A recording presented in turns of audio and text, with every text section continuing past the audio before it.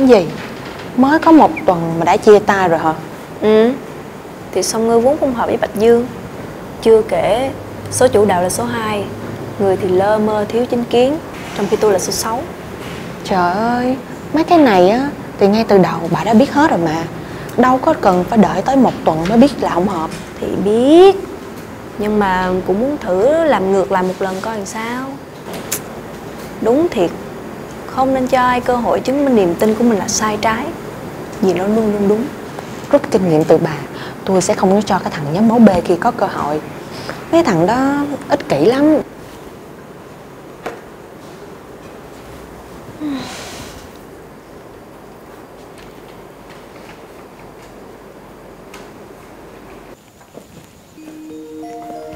Từ đây nè đến cuối dãy lớp kia là khối 11 Dạ. ờ bây giờ mình đi tiếp nha thằng cái dạ.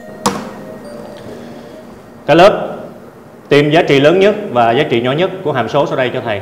Đúng 15 phút sau, thầy kiểm tra ha.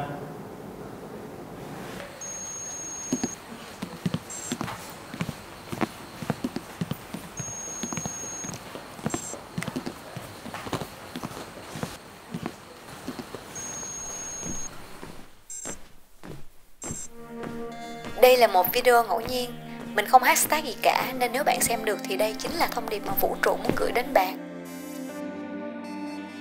Ace of Cups Lá này mang ý nghĩa sự hòa hợp nội tâm và tinh thần, một cảm giác gắn bó đến khó hiểu giữa hai bạn.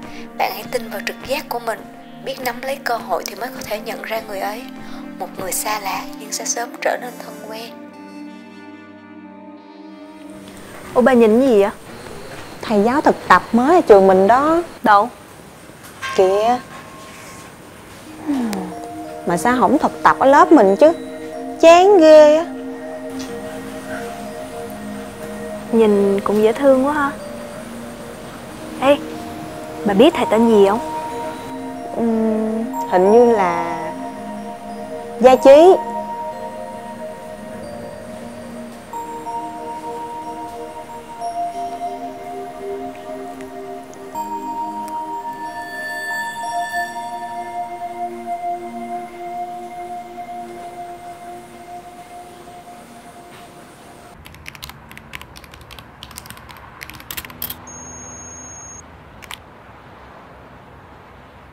Tìm được rồi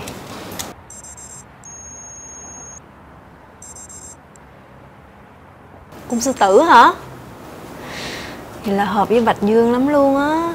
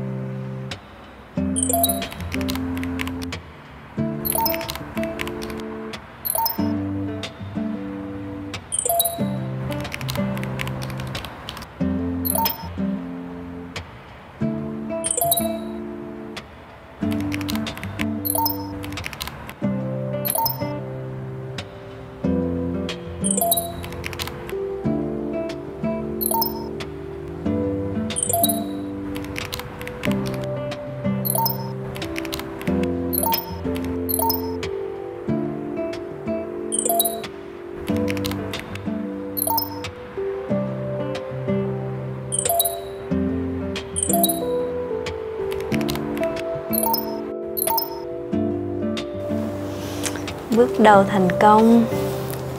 Vậy là đã dính bẫy rồi nha. Để xem thần số học đã.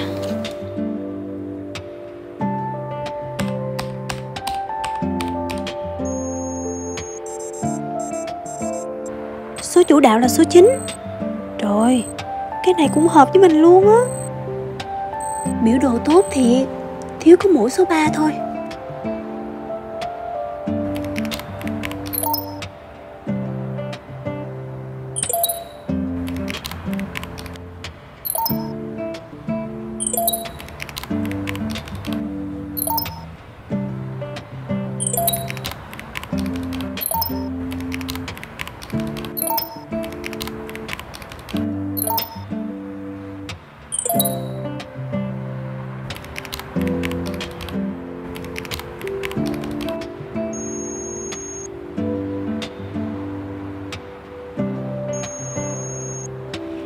Trăng cự giải, Cung mọc là bò cạp. Hèn chi mình bị hấp dẫn ngay từ cái nhìn đầu tiên.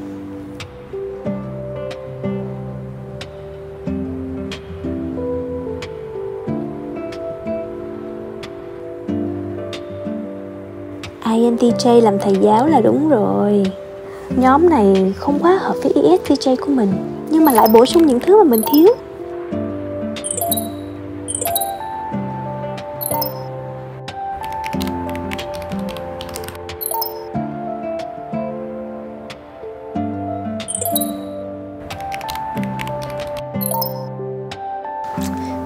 Ngay mà.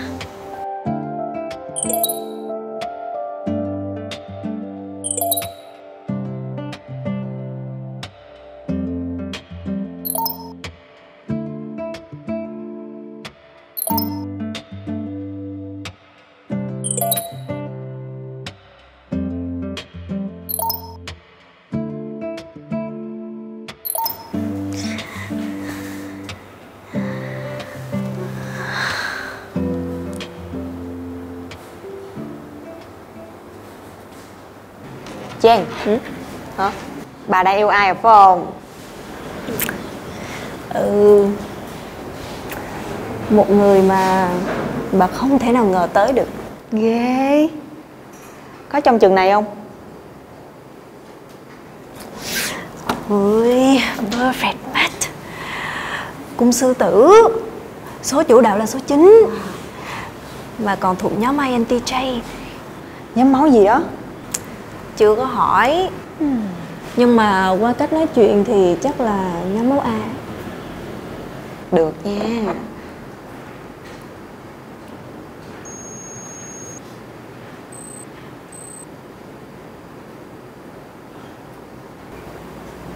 Sao nhìn quen vậy ta?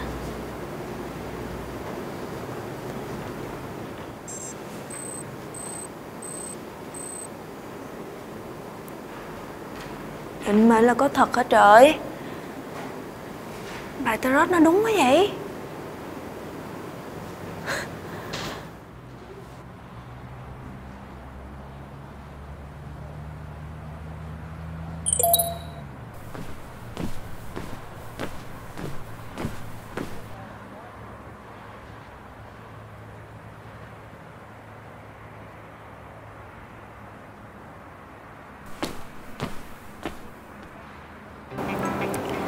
Anh có tin vào số mệnh không? Trước đây thì không Anh theo chủ nghĩa duy vật mà Nhưng mà từ khi gặp em thì anh cũng không chắc Em ảnh hưởng dữ vậy hả? ừ. Nói nghe thì hơi kỳ Nhưng mà em hiểu anh lắm Giống như là mình à, mình biết nhau từ lâu rồi đó Chắc là do mình cùng thích một chỗ